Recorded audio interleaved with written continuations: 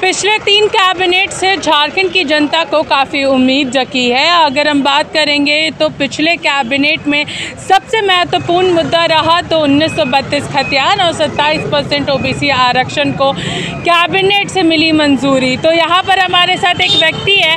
आप हम लोग पहले इनसे जानते हैं कि आखिर है कहाँ से? आप कहाँ से आए हैं? हम गिरिडीह जिला सरिया प्रखंड से आए हुए हैं। क्या नाम हुआ आपका? मेरा नाम धर्मपाल महतो हुआ। आपको बता दें कि इनके इस गमछे के पीछे एक राज छुपा है और मुख्यमंत्री हेमंत सोरेन के फैसले का राज है। आप हमारे दर्शकों को इस गमछे के पीछे का राज ज़रा दिखाइए। नहीं दिखाने की बात नहीं ये राज आज नहीं नया नहीं है बहुत पुराने समय से हम लेते हुए लेके चल रहे हैं और आंदोलन इस पर भी हम लोग कर रहे हैं ये देखिए। आप ये देख सकते हैं 1932 यहाँ पर इन्होंने अपने बाल पर यहाँ पर लिखवाया हुआ है और दूसरी ओर अगर हम बात करेंगे तो दूसरी ओर ओबीसी आरक्षण।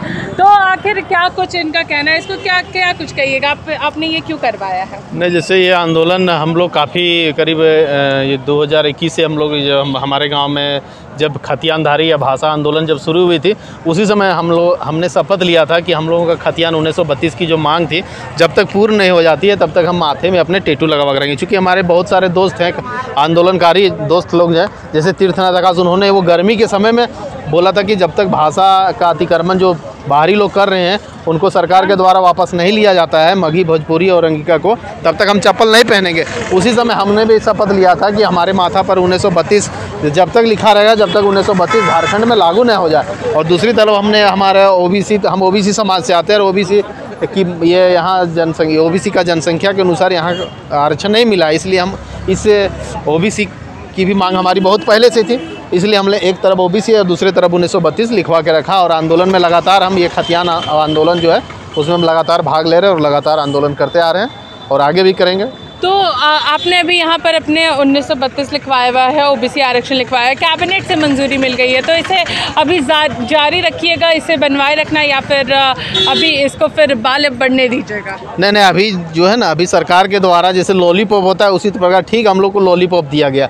बिल्कुल क्लियर नहीं किया गया फंसा के रखा गया। सब योजना जितने भी हेमंत सरकार के योजना देख रहे हैं सब योजना को फंसा कर रखा गया। चूँकि अभी इसके पहले कुछ पहले हम हम हमारे गाँव में एगो ग्राम में लगा हुआ था मुख्यमंत्री के द्वारा ही प्रखंड हर एक पंचायत पंचायत लेवल में तो उस योजना में भी सरकार की हम देखें विफलता, उसमें भी बोला गया था के माफ़ हो जाएगा के मेरे खुद हम किसान परिवार से आते हैं के माफ़ नहीं हुआ, दूसरा में कि अभी वृद्धा पेंशन वगैरह उसमें भी नहीं हुआ, विकलांग लोगों का अभी पेंशन नहीं हुआ फिर अभी हम लोग का ये पंचायत सचिव 2017 में हम लोगों ने ये फॉर्म आया था, अठारह में एग्ज़ाम दिया, उन्नीस में एग्ज़ाम दिए बीस में रिज़ल्ट आया, इक्कीस हो गया, बाईस आ गया हाई कोर्ट गया हाई कोर्ट से सुप्रीम कोर्ट गया, सुप्रीम कोर्ट से पुनः सरकार को लथार, मन ये क्या बोलते हैं, लथार मिला बोल नहीं, सब लोगों को नियुक्ति पत्र दिया जाए, फिर भी सरकार नहीं दे रही। पता नहीं हेमंत सोरेन आखिर में किस प्रकार से हम युवाओं को ठक रही हमें भी समझ में नहीं आ रहे।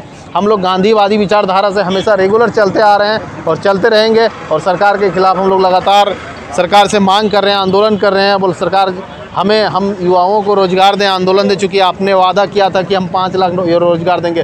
पाँच लाख ना ही सही, कम से कम जो पूर्व में आपने जो वैकेंसी सरकार के द्वारा निकाला, उसे तो पूर्ण करें, चूँकि सारा प्रक्रिया इसमें पूर्ण हो चुकी है। कहीं भी रुकावट नहीं है, फिर भी सरकार, पता नहीं किस लिए सरकार इस प्रकार से हम लोग के साथ कर रही, दूरा दुर्व्यवहार कर रही। बहुत लोगों के चेहरा में देखते हैं खुशी, लेकिन हम लोग, हमारी कितने बहनें सब आई है, भाई भी आए, करीब लगता है हमको हज़ार लोग आज आए हुए हैं, पंचायत सचिव के अभ्यार्थी।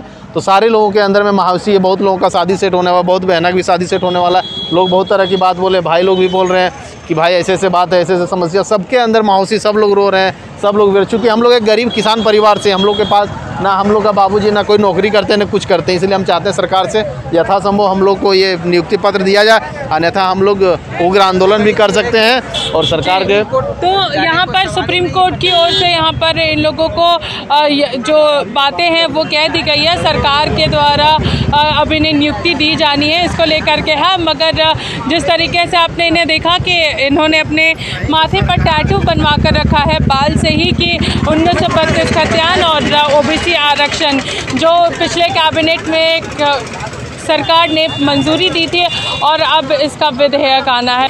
इसी के साथ देखते रहिए लाइव लगातार, रांची से मैं पूजा। नमस्कार।